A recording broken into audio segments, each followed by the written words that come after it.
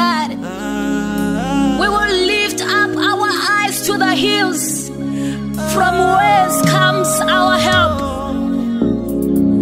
Psalm 17, verse 8, David says, Keep me as the apple of your eye, O Lord.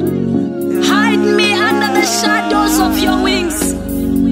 Because we trust in you, God.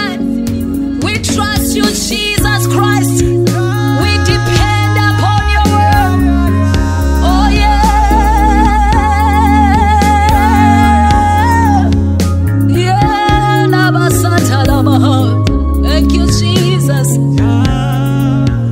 Take over, take Lord. Take.